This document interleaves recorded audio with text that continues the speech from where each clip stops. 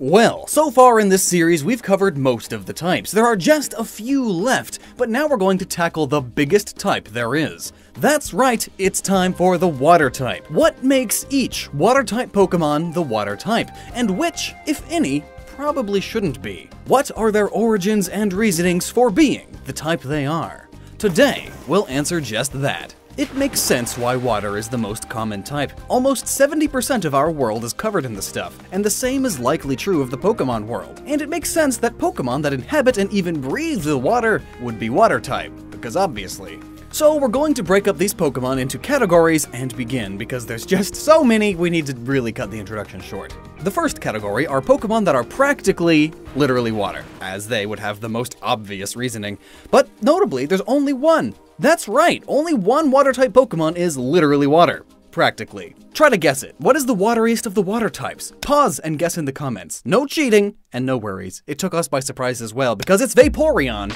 According to the Pokedex, its cell structure is similar to water molecules. It will melt away and become invisible in water. So I mean, if your very cell structure is so similar to water that you can melt and be invisible in the water, that must mean you're pretty much water. In fact, this idea isn't very unheard of. In many mythos, water nymphs and such would be able to almost melt away into the sea and such. And with the wateriest of the waters covered, let's jump to the next category fish. Typical fish. You know what a fish is. Clearly, water type. Mostly. Main things of note is that fish tend to have fins, live in water, and have gills. But they do come in all shapes and sizes.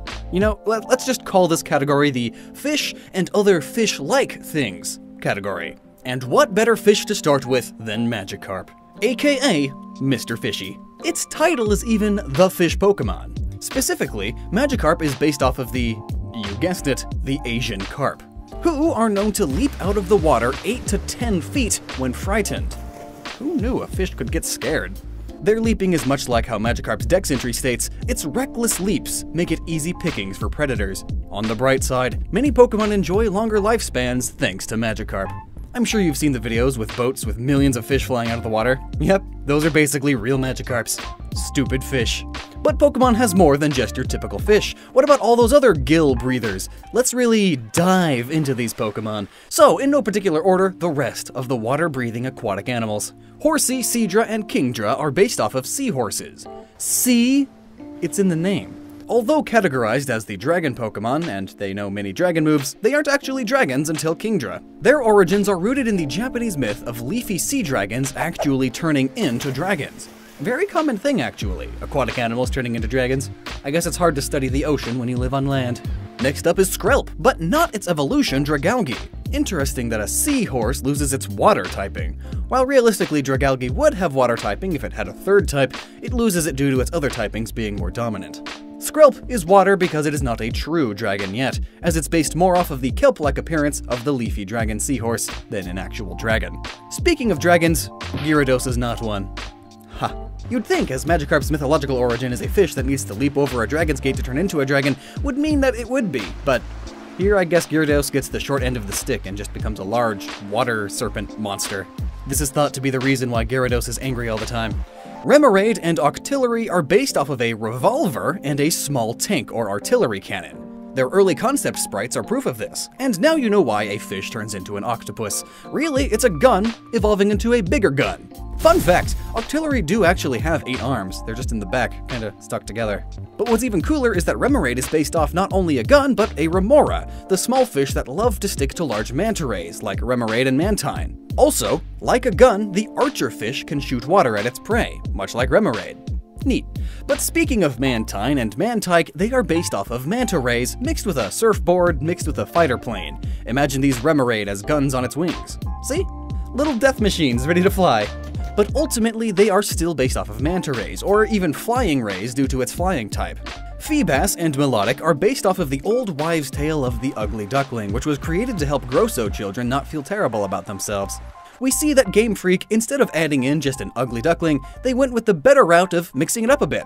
Much more creative. Feebas is assumed to be a bass, and it transforms into a beautiful serpentine sea dragon. Fun fact, Feebas's name phonetically is the same as Phoebus, which means shining one in Latin, possibly alluding to the beauty within. Ah, Now, if that isn't an after school special waiting to happen. now to the complete opposite a nice fish turning into a gross fish. Here's Goldeen and Seaking, based off of a goldfish or a koi. Oh, and, you know, one of the Hindu god Vishnu's avatars, aka a goldfish with a horn. So basically, them. Huntail is based off of the deep, dark, underwater hunting creatures using its tail lights to lure prey. It's possibly based off of the viperfish or moray eel. Gorebyss is another, and a monster. Did you know that when it spots prey, this Pokemon inserts its thin mouth into its prey's body and drains the prey of its fluids? Like a vacuum, or a mosquito on steroids. Well, not Buzzwole, but rather the proboscis things that lurk in the dark. The scary thing is that this Pokemon is based off of four types of fish that really exist. Thankfully, most of them pose no threat to humans as they live deep in the oceanic abyss. And the one that looks the most like Gorebyss, minus the pink coloration, is the long-nosed Chimera. I mean, look at it, it's almost a spitting image of it. Notably, the last two Pokemon evolved from Clamperl. How they evolved from a clam is a mystery, so theoretically, this is the Pokemon. Really, it's just a sleeping egg thing, a fish egg. Also from the deep depths are Chinchou and Lanturn, both based off of the idea of an anglerfish who use their lanterns to lure prey close to their mouths before they strike. Except these Pokemon are actually cute. Luvdisc, to be honest, is a fish that's just in the shape of a heart. That's kinda it. It's based off of the discus fish, a fish that's kind of in the shape of a heart. Not a real heart, though. Could you imagine? Ew. No, a normal, regular, fake heart. So here we can really get a feel as to why it's water type. It's just a regular fish. Maybe it should be normal water type. Alomomola you would think evolves from Luvdisc, but you'd be wrong. I mean, they just look so similar to each other, but, you know, Pokemon doesn't need to make sense. But Alomomola is based off of the real-world Mola Mola fish. Just change the L placement and an A, and boom! Pokemon name. Finneon and Lumineon are two fish aptly categorized as the wingfish and the neon fish Pokemon. Note how it says fish Pokemon. That's because it's a fish Pokemon based off of the butterfly fish, which is a fish which lives in the water, hence the water type. Remember Basculin? Because I sure don't. Being based off a masculine bass, it's designed by Ken Sugimori, who stated there are too few standard fish Pokemon. Basically, he needed filler Pokemon for Unova's waters. No wonder it's so forgettable. Carvanha and Sharpedo are based off of Piranha and Sharks. There really isn't anything interesting to say about these guys worth sharing other than Sharpedo is fast, yo! Qwilfish is a pufferfish. Yeah, I also forgot this Pokemon existed. Barboach and Wishcash are both catfish loach Pokemon, bottom feeders that lurk in the muddy depths of rivers, ponds, lakes, and pretty much anywhere you can find water and dirt all mixed up together. Tentacool and Tentacruel, though, are squiddish jellyfish that are actually interesting. Well, Tentacruel's Pokedex entries are interesting at least, stating that normally it has 80 poisonous tentacles, the longer one has been alive, the fewer tentacles it will have. Do you see 80 tentacles on any of these? I sure don't. Maybe it's holding them behind its back. Frillish and Jellicent are two malformed jellyfish with sick mustachios and dresses with frillies. And that's about it. Bruxish is the Pokemon to have if you ever wanted to be bitten in the mind. This thing is gross and garish, but it's based off of a filefish and a reef triggerfish, who have hilarious faces and are the official state fish of Hawaii, so it's perfect for Alola. Fun fact, the Hawaiian name for this fish is the Humuhumu Nuku Apua'a, which is amazing to spell. Wishiwashi are minnows, anchovies, sardines, mainly the latter. Individually, they really suck, but through the power of teamwork, they school together and can do anything. Even old Gyarados runs in fear when they school up. It seems like water types really are good at making after-school specials. Disney should hire them. Relicanth is a living fossil Pokemon. It really is a relic. Can't you believe that? In actuality, it's based off of coelacanths, a very old fish that was thought to have died out, but was recently found to be alive still. And by recent, I mean 1938. Okay, so that was all of the fish-like water-breathing Pokemon. I know a lot of the next few categories could fit some of those Pokemon there too, but they fit better in this category, I feel. And the next category of Pokemon are shellfish, seashells, mollusks, crustaceans, you know, those things. Shellos and Gastrodon are sea slugs, and I don't really think I need to remind you what the sea is made of. Pyukumuku is the cutest little grosso I've ever seen. Essentially, a sea cucumber that loves to punch people with its anus. Er, I mean, special organ, according to the Pokedex, that in no way is related to the real life sea cucumber's butthole ejection techniques. Phione and Manaphy are based off of the sea angel, a small translucent mollusk that lives in the deep dark parts of the ocean. Staryu and Starmie are both puns made flesh to suffer a cruel world, as they are starfish with an extraterrestrial nature. Mareanie and Toxapex are also based off of starfish, perhaps specifically the Crown of Thorns starfish. Now, starfish may seem slow, but these guys are the lions of the tide pool, apex predators in their own right. I mean, they can regrow limbs, relentlessly chase down prey, and when you don't move at all, like barnacles and mussels and such, these things really do move at lightning speed comparatively, and they are mean. Corphish and Crawdaunt are based off of crawfish, crawdads, crawdads, freshwater lobsters, mountain lobsters, mudbugs, or yabbies. You know, tiny versions of the lobster, essentially. They live pretty much everywhere from small puddles to swamps, and they have like a million different slang names depending on where you're from. Clauncher and Clowitzer are very similar to Corphish and Crawdaunt. These shellfish are based off of the snapping shrimp, as well as the whole concept of crustaceans losing a limb, meaning one limb becomes way massive because it's older, while the new one regrows and it's tiny. It's kind of silly. Cloyster and Shellder are clams. In fact, so is Clamperl, if you didn't guess. However, Cloyster, despite the name, is not an oyster at all. It is a thorny oyster, which is named wrong because it's actually a clam. What the heck? Krabby and Kingler are crabs, most likely the king crab, as Kingler has king in its name, and they are delicious. Omanyte and Omastar are lords of the ocean, gods of the stream. These prehistoric mollusks are based off of the prehistoric creatures of the deep, Ammonoidea to be exact, which were just basically swimming shells, much like the Nautilus of today. Kabuto and Kabutops, another prehistoric creature of the deep, liked to roam the ocean floor. They are based off of the trilobite and horseshoe crab. Did you know that horseshoe crabs have blue blood, like, actually, humans don't ever, that's a terrible misconception. But because of this, horseshoe crab blood is one of the most expensive liquids in the world. The fun fact, Wimpod and Golisopod are two really neato Pokemon until you realize that their ability is a terrible thing and isn't useful and competitive unless you build your entire team around it, and then you just get swept because that's how Pokemon is. It just crushes your dreams of being any decent. However, these guys don't get crushed by the intense pressure of the ocean. Much like the isopods and silverfish they are based on, their bodies are covered in an insanely strong exoskeleton. Hard as diamond, according to the Pokedex, allowing them to withstand the pressure of the ocean.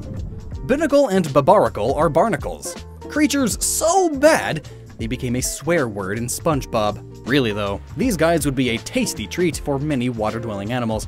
As you know, they don't really move. That is until Barbaracle realized they can not only get up and walk out of the way when they join forces, but they can even fight back. Also, they look pretty darn close to the Goose Barnacle specifically, which is a great visual until you actually see one.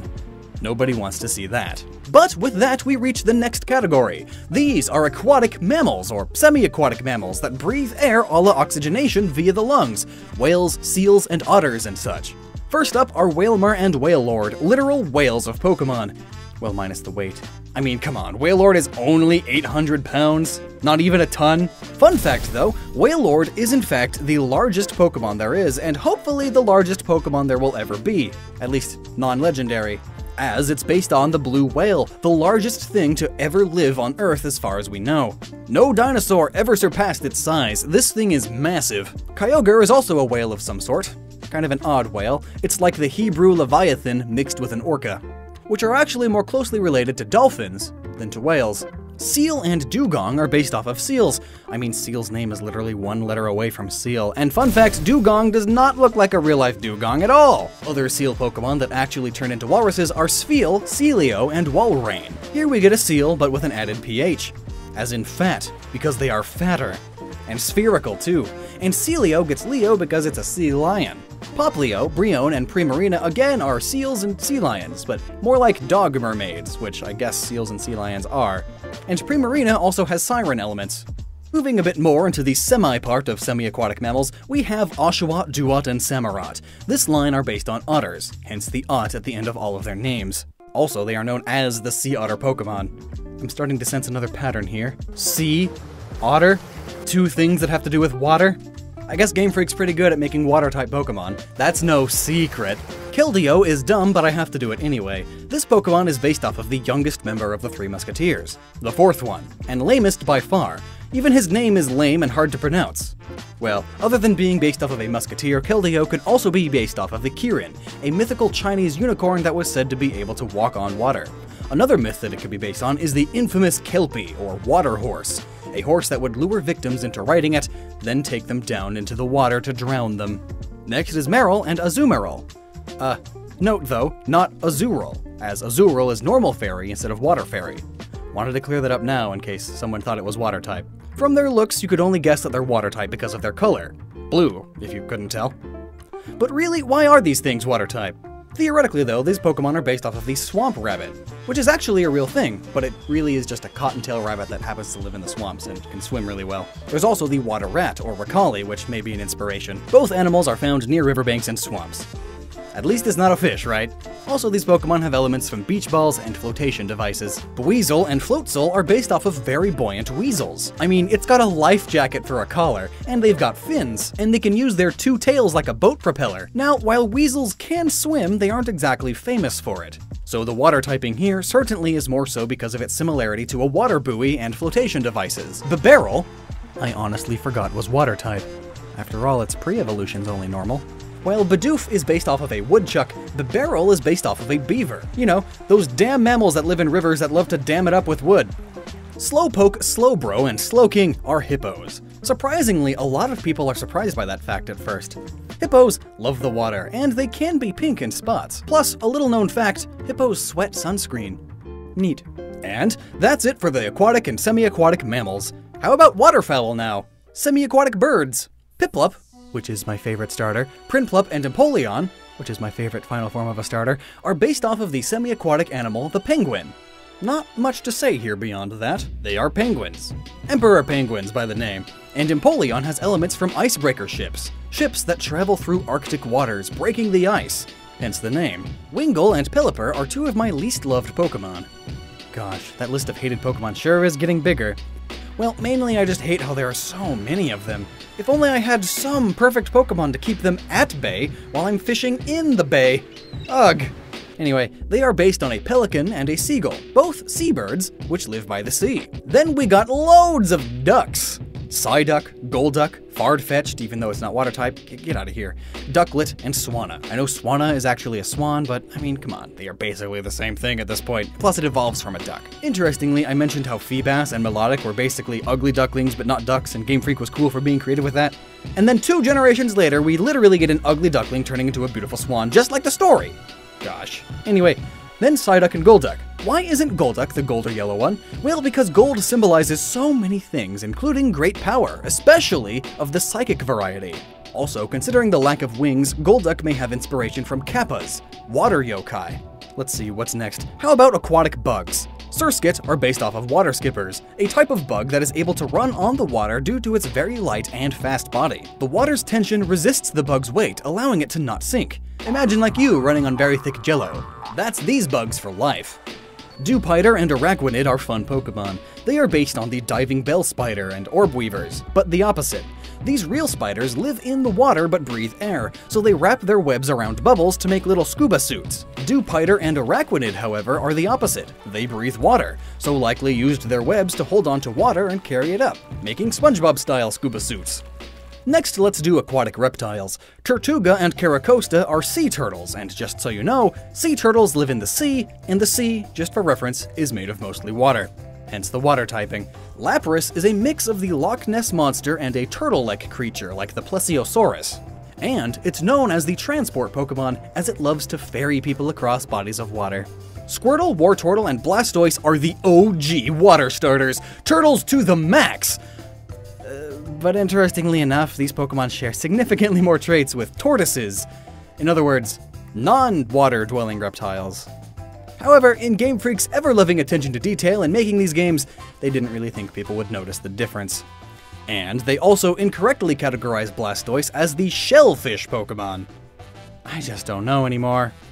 I mean, it's not even that watery, other than the fact it has massive water cannons on its back and it's blue. Tortoises are related to turtles, at least. But Blastoise is similar to a huge tank, both like the war vehicle and also like the thing used to store water. So we'll let it water slide. The Totodile, Crocodile, and Feraligatr line, being based off of all manner of crocodilia from alligator to croc, bite down hard! Fun fact crocodiles do not have sweat glands and release heat through their mouths. They often sleep with their mouths open because of this. Similar to reptiles, we have the next category, amphibians, which are a weird middle stage between a fish and a reptile. They tend to be born with gills, but grow lungs and lose the gills eventually. Take, for instance, Tympole, Palpitoad, and Seismitoad, a gilled tadpole that eventually becomes a toad. This line of Pokemon are able to vibrate the bumps on their heads, similar to frog and toad cheeks, except they can do it hard enough to make waves in water or earthquake-like vibrations on land. And that's not even the final evolution. Poliwag, Poliwhirl, and Poliwrath are glass frogs, frogs that are partially see-through on the bottom, and thus you can see their organs. As such, the tadpole stage of this frog has swirly intestines.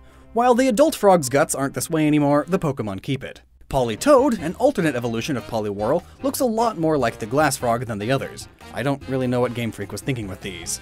Mudkip, Marshtomp, and Swampert are the poster children of swamps and marshes. I mean, it's in their names mud, marsh, and swamp. Apparently, they can swim through mud faster than water, and I'm not quite sure how that works, but at least it means they can swim.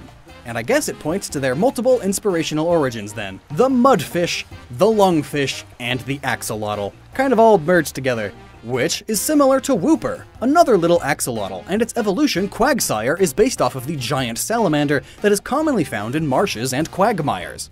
Froakie, Frogadier, and Greninja are frogs full on. No tadpole stage even. They are also ninjas. Water ninjas, with watery ninja powers. There are plenty of legends about ninjas being able to run across the water, and they hide in the water too using a bamboo straw to breathe. So water ninja is a fairly easy connection. Some ninjas wear scarves, and in this case, it's a scarf made of bubbles, and then it becomes a scarf that is actually the frog's tongue. Because they're super long. Hmm. Well, on top of Water Ninja being an easy connection to make, so is Frog Ninja, actually. You see, there's a famous story, the tale of the Gallant Jiraiya, wherein a ninja transforms into a large toad, a frog relative. And with that, We've gone through so many Pokemon. There are only two more small categories to go. The first being Other, and the last one, Not.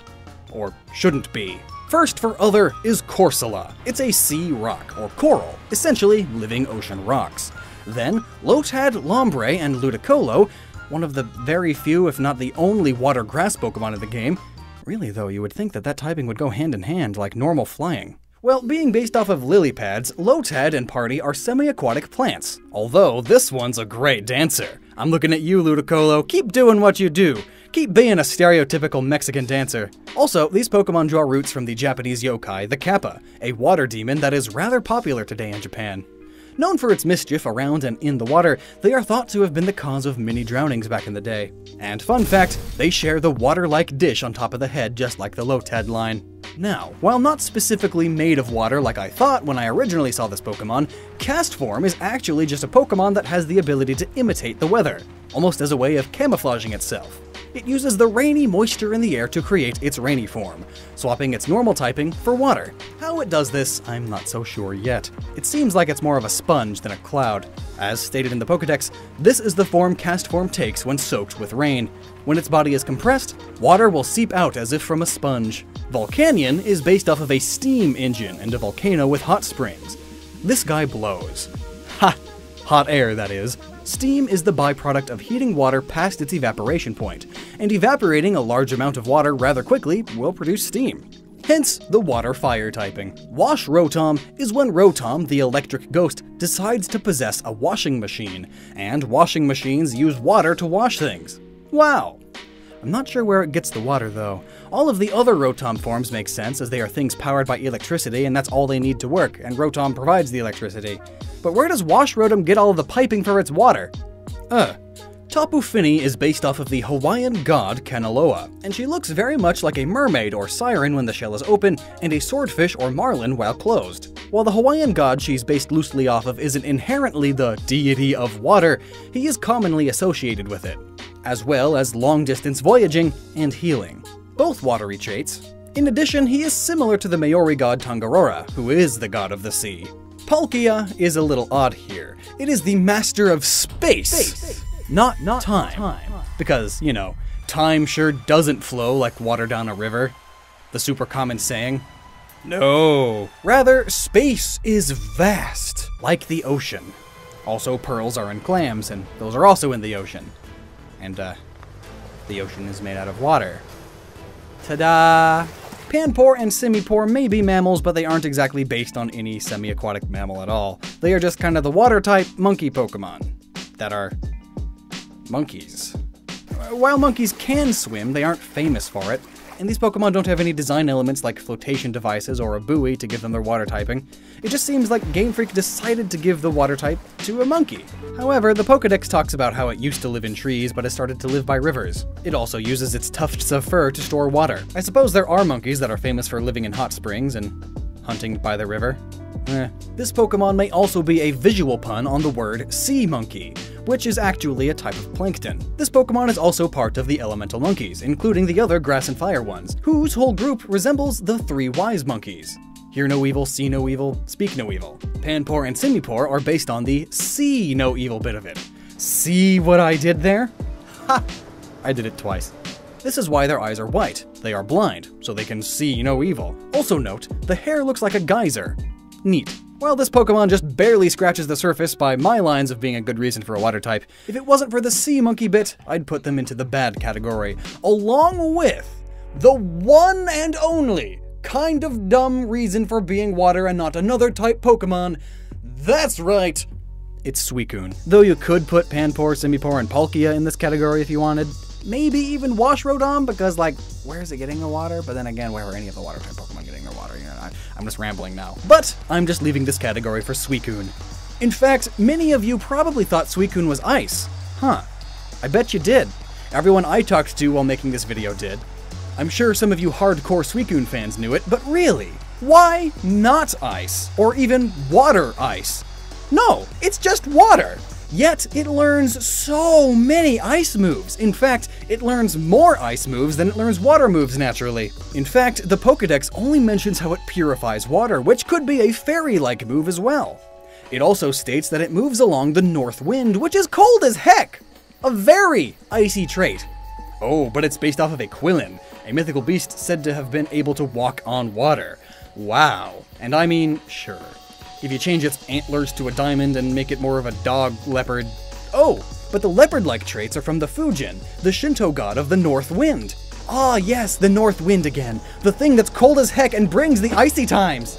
While Suicune could be based off of these wind and rain deities, I feel like just being water isn't correct. At least not as nice as it could be. If it were to keep its water type, it would need to either gain ice or maybe even flying. There are already plenty of other flying type Pokemon that can't actually fly. Plus, its category is the Aurora Pokemon. You know, that thing that happens to the sky in the Arctic regions.